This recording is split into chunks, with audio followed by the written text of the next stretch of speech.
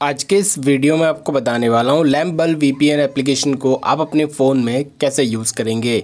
तो गैस अगर आप भी जानना चाहते हो ये एप्लीकेशन है क्या और इसे अपने फ़ोन में कैसे यूज़ करें तो फिर इस वीडियो को देखते रहिए।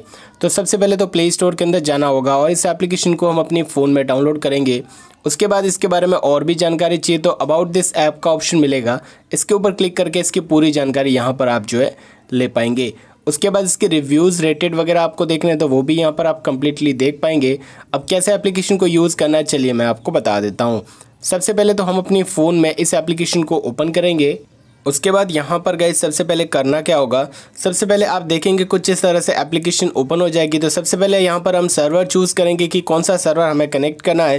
तो यहाँ पर स्मार्ट कनेक्ट लिखा होगा, इसके ऊपर हम टैप करेंगे। और जो भी सर्वर यहाँ पर आपको कनेक्ट करना होगा, उसके ऊपर आप क्लिक करेंगे एंड यहाँ पर अलाउ पे क्लिक करेंगे और यहाँ पर जो है कनेक्टिंग स्टार्ट हो जाएगी। और गैज़ यहाँ पर हमें थोड़ा सा वेट करना है। जब तक हमारा यहाँ पर सर्वर जो है वो सक्सेसफुली कनेक्ट ना हो जाए, तब तक यहाँ पर वेट कीजिए। एक दो सेकंड के अंदर ही हमारा सर्वर यहाँ पर जो है कनेक्ट हो जाता है। ठीक है सक्सेस दिखा रहा है। यहाँ से गैस हम बैक करेंगे और उसके बाद गैस यहाँ पर हम देखेंगे, यहाँ पर ये कनेक्टेड शो हो रहा है। यहाँ पर डाउनलोडिंग अपलोडिंग स्पीड आ रही है। एंड यहाँ पर आप नीचे की साइड में स्पीड टेस्ट कर सकते हो नेटवर्क सिक्योरिटी चेक कर सकते हो। यहाँ से आप सर्वर चेंज कर सकते हो। और ऊपर की साइड में यहाँ से आप इसकी पूरी कंप्लीट सेटिंग्स जो है वो यहाँ पर ओपन करके कम्प्लीटली आप जो है देख पाएँगे। ठीक है?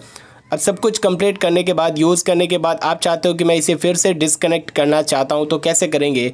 तो उसके लिए यहाँ पर ये जो स्विच है, इसके ऊपर टैप करना होगा और यहाँ पर डिसकनेक्ट वाला ऑप्शन आ रहा है तो आपको डिसकनेक्ट पे क्लिक करना होगा और एक ही क्लिक के अंदर आपके फ़ोन से डायरेक्टली ये जो है डिसकनेक्ट हो जाएगा।